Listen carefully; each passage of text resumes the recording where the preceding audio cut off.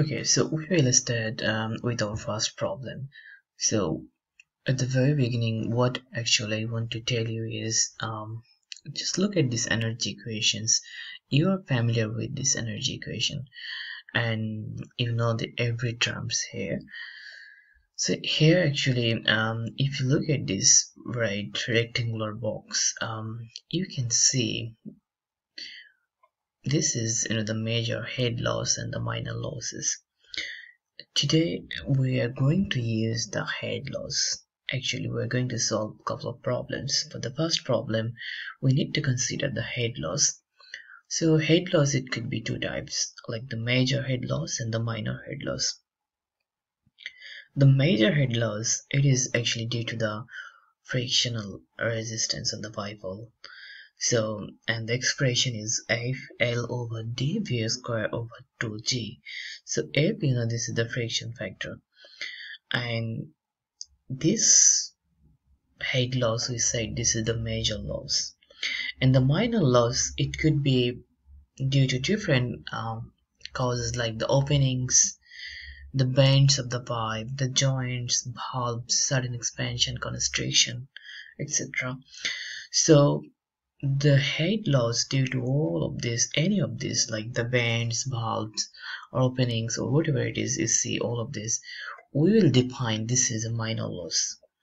And this is actually you know KLV square over 2g this scale this is called the loss coefficients.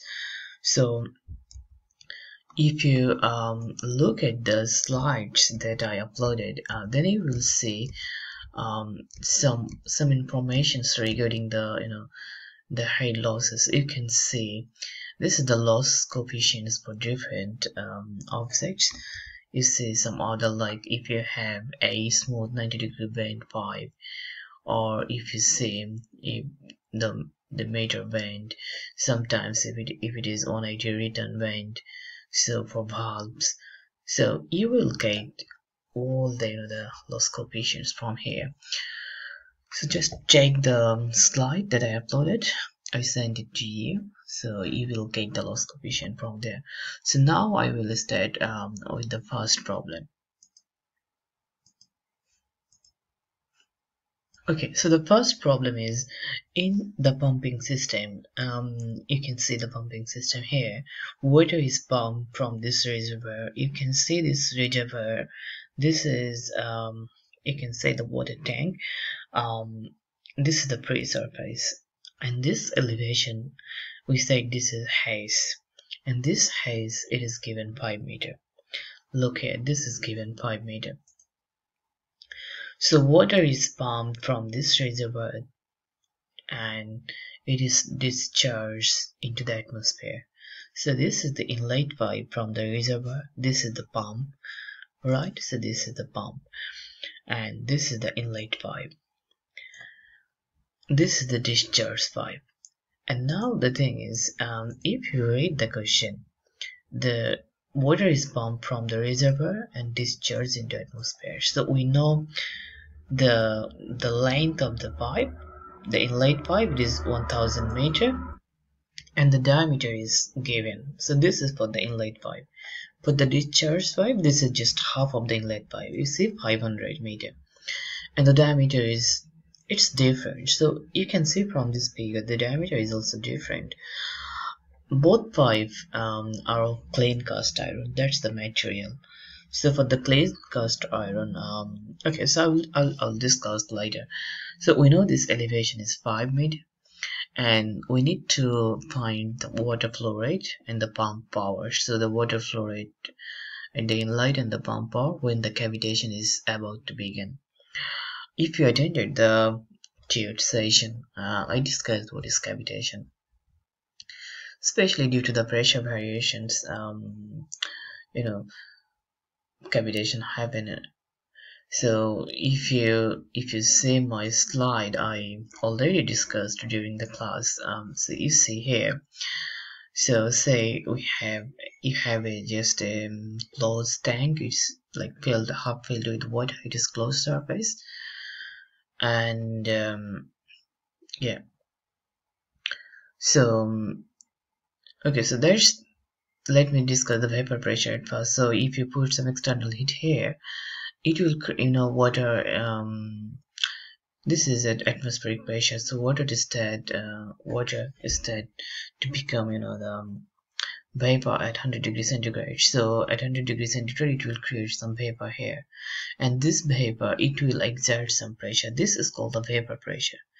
So then in simple word we can say the vapor pressure is the pressure which is exerted by the um, vapor on the fluid. And now the cavitation cavitation is say this is the pipe uh, we have the thickness. So we have the high pressure in this section we have the low pressure in these sections. So in the low pressure zone the air bubble creates. So in other words we can say the cavitation is the air bubble creations. And these air bubbles you know it clouds at the high pressure zone. And to close this you need very high pressure and this pressure it you know creates some um, corrosion on the on the pipe. So it creates very small small holes. So there's uh, you know we need to actually simply um, we need to avoid these cavitations. So that's the challenge. The cavitation and the vapor pressure i if you attended the second or third course i discussed detail like what is cavitation what is vapor pressure but i need to stop here otherwise you know the video will be lengthy so maybe i'll go back to the problem.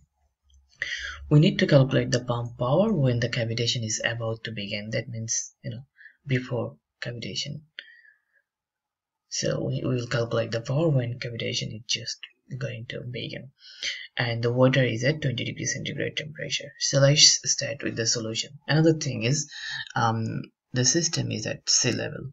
And it said make reasonable um, assumptions so we already discussed uh, this system. Um, this is the overall system. We said um, this is 1000 meter and the diameter is 1000 meter the diameter is 0.22 this is 500 meter and the diameter is 0.18 um initially we said um, this is the free surface so you know the gauge pressure it should be zero.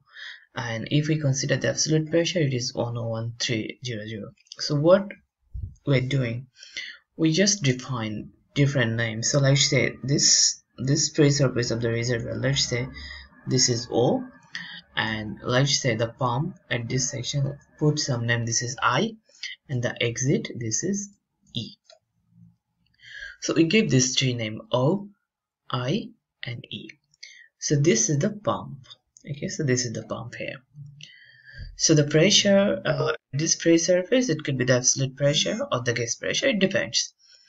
And the pressure at this um, pump section, that means the pump inlet, you know, the cavitation happen here, so it should be the vapor pressure.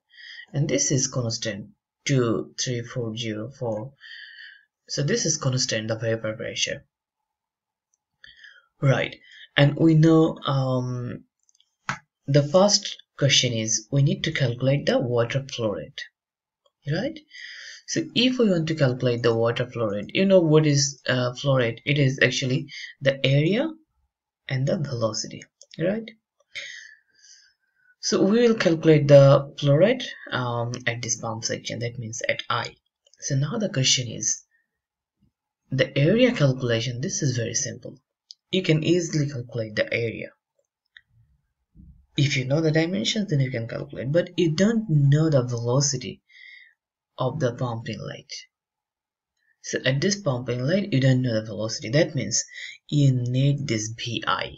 That means the velocity. So area, it is, you know, you know the dimensions. So you can simply calculate. And it is pi. So you know how to calculate the area. So now we need to calculate the velocity. So let's have a look how we can calculate the velocity of the pump um, inlet.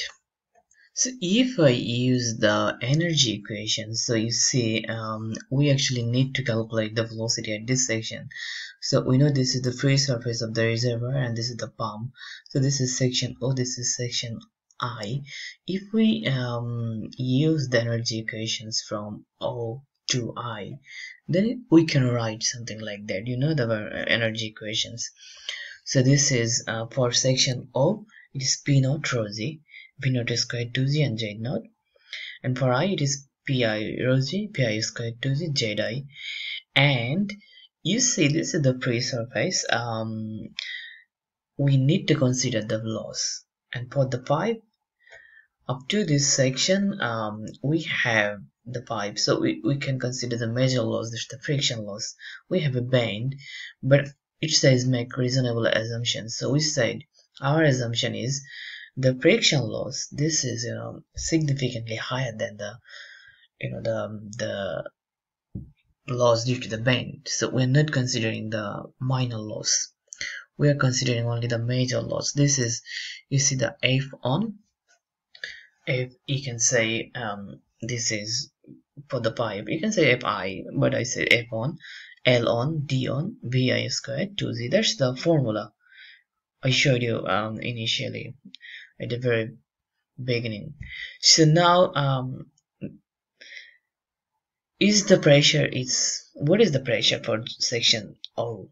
Um some important discussion now uh, we said the pressure it could be the gauge pressure or the absolute if it is the absolute if you consider the absolute pressure it should be 11300 should we consider this gauge pressure zero here? This is the open surface. Here um you are considering the energy equations from O to I. So we got very small pressure for this section. This is the vapor pressure. It is 2 3 4 0 so 2340 pascal so this is very small pressure. So as we got very small pressure here so we should not consider the gauge pressure here. We should consider the absolute pressure here. But if we consider if we use the energy equations from 0 to e then we will use the gauge pressure because this is the both are the open surface and no pressure here as well. So we can consider the gauge pressure.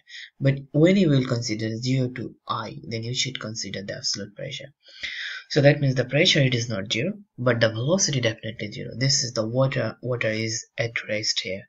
So the velocity it should be zero here. So we say this term is 0 and we are considering no elevations. So this is P naught rho g, this is Pi rho g, we got this is 2340, this is 101300. We know the density and the gravity, we don't know Pi, this is we are going to calculate. Zi, Z1, this is you know the elevation from this free surface to this pump height. So this is 5, um, this is 5 and now the f on l on d on b on bi squared 2g so if we simplify this then we will get these um, expressions like vi squared it is equal 1 plus 4545 upon and 99.9 so now the thing is this is one equation with two unknowns we don't uh, you see the unknown is vi the velocity at the pump inlet and the, the friction factor f1 so we need to calculate the friction factor now. You know how to calculate the friction factor. For the materials we have, I said initially, this is the clean cast iron. You see the cast iron. So for cast iron, you know, the roughness height, this is 0.26 meter. This is constant. You just check the tutorial slide. Um, so if you check my mail, email I send you the tutorial slides and you will get all the properties all the tables there so for the cast iron this is constant 0.26 and we are calculating the velocity the friction for you know for the inlet pipe that means this section so for this section the, the length is on thousands and diameter is 0.220 meter. So um, it is um, I, I believe it is in millimeter. So 0.26 millimeter. And then the diameter it should be 220 millimeter. So if we simplify this then we'll get the you know the relative roughness is 0.0012 and you know how to calculate the friction factor. So yeah you know the Moody chart so you need to use the Moody chart to calculate the friction factor. But if you want to use the um, Moody chart um, just have a quick look here. Um, we got the Moody chart here. You see this is um, the x-axis is the Reynolds number and the y-axis is you know the epsilon over d. So we already calculated this. So we need the Reynolds number so that means now we need to calculate the Reynolds number. And you know Reynolds number is the velocity diameter and you know the kinematic viscosity. So now the issue is this is very you know complicated situation. So we are looking for the velocity. We need to calculate the velocity. And to get the velocity we need f1 but for Reynolds number calculation is you also need the velocity so then now the issue is we will assume some friction factor for this relation. So and based on that assumption we will calculate the velocity. And then by using that velocity we will calculate the Reynolds number and then we will calculate the friction factor again. So now the question is you see I assume it is 0.02 now the question is how you will decide like it should be 0.02 if you assume it is 0.01 then what will happen? So I can show you some technique here um, you see our relative roughness is 0.0012 so if you look at this um, Moody chart here so this is 0.00 um, so that means our friction factor is it could be like here this red line. So what we will do we got the value is 0.0012 so let's say this 0.001 if we come this way or let me just move this on here. So you see the friction factor it could be 0.02 something. So definitely it's not 0.02 so we're assuming this one. So that's very close number. In that way we just we need to follow this line. So we took very you know close value of that one.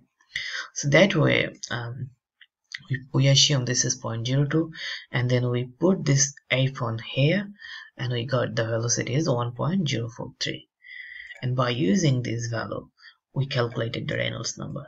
It is 0.23 and 10 to the power 5 otherwise we have no way to calculate the Reynolds number. So we got the Reynolds number here. And once we got this Reynolds number then we'll um, go back to the Moody chart so now um, from Moody chart um, you know for for Reynolds number this you see we just calculated it for Reynolds number this and this relative roughness 0.0012 we got the friction factor is this. So this is you know we got based on our assumptions this value. And we got this friction factor this. And now we use this friction factor again here in these equations and if we put it here then we got the velocity is 0.1 meter per second. So what we found the velocity difference is it's very close. It is 0.1.043 it is exactly 1 so that means we can say that this is very close. That you know the difference is not that much. So we can stick with this value that okay our assumption is okay so we got the you know the inlet velocity is 1 so now um, we need we can calculate simply the flow rate it is area into velocity. So the area is pi over 4 d squared. So this is the area and this is the velocity. So if we simplify this then we'll get this is the velocity. The flow rate. So that means we have done with the first part of this section. This is quite you know annoying problem because um, you need to do a lot of things um, if you get this question in the final exam or these types of question yeah you need to just try to solve you know. Don't be rush yeah. Be try to be cool and yeah. Hopefully it should be okay. So now the pumper uh, and the procedure is straightforward but the calculation it's really annoying. Anyways the pump power when the cavitation is about to begin at the pump inlet so now we will calculate the pump power.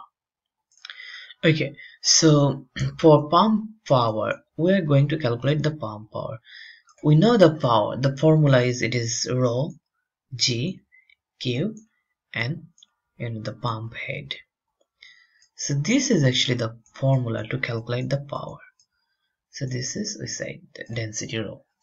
So this is the formula. We need uh, if we want to calculate the power we need the density. So we know this water density we know the gravity we just calculated the flow rate so what do we need to calculate? We need to calculate the pump head. So how we can get this pump head? So look at the question here guys. Um, pump power when the cavitation is tight. So to calculate the pump power what I said we need the pump head. So now if we uh, use the you know the energy equation again um, into you know 0 to e. That means the the reservoir free surface and the you know the the exit.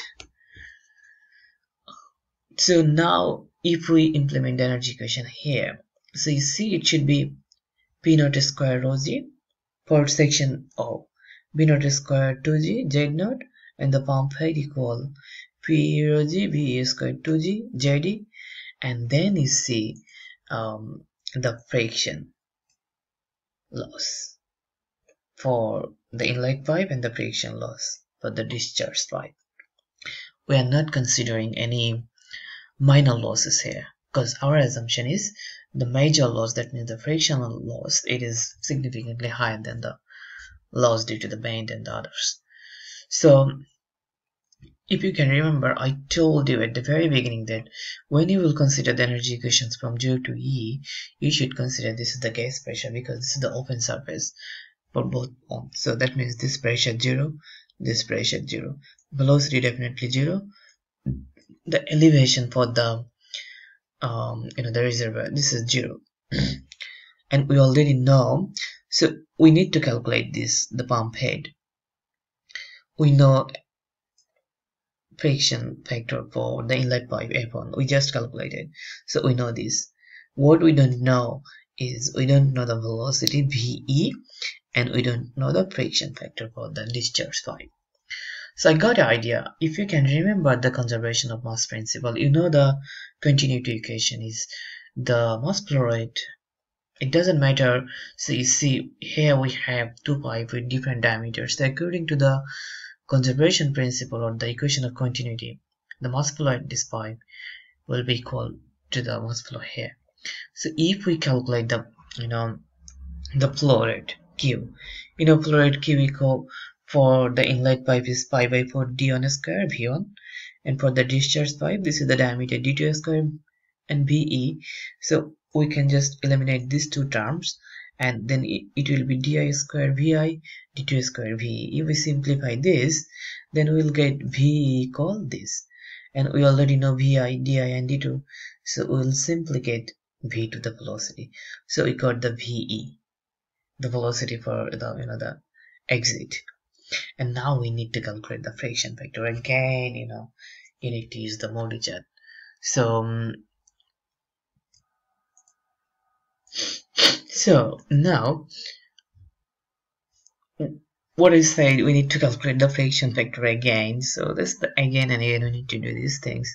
So we need the um, you know the relative roughness for the discharge pipe so for the cast iron this is constant the wall roughness and the diameter of the you know the second that means the discharge pipe is 180 it is 0.18 meters so it should be 180 millimeter. So you got this value. And now let's calculate the Reynolds number. So you know the velocity for the discharge section that means the exit section this. So you don't need to you know assume the friction factor again. Because this is easy because you know the velocity. You know the diameter and this is constant the kinematic viscosity so um, we got the Reynolds number is 2.17 to the power 5 so from Moody chart we got F2 equal 0.022 so we know F2 we know F1 we know VE so if we substitute everything here then we will get the the pump head. So now just put every value here then it will get the pump head. So um, here now the the pump head it is equal you know the expression just substitute every value for BE um, this is the elevation F2 L2 D2 so just substitute every value here then we'll get the head pump is 17 meter. And now if we put um, this formula like power equal rho g q h pump then this is the pump power. So what we did here is um, we know this formula is simple but the issue was the friction factor. F1 and f2 this is we spend a lot of time to calculate these two friction factor. Otherwise we know these energy equations and yeah. So um, it is it is time consuming a little bit but um, I believe you got some understanding like how to solve these types of problem. I actually want to recall um, one more thing so I already discussed this. So this is I said when for every problem when you solve any problem for this chapter um, if you calculate if you use the energy equations for like this palm to any other surface you should consider the absolute pressure. But if you consider two free surface just consider the gauge pressure. That's it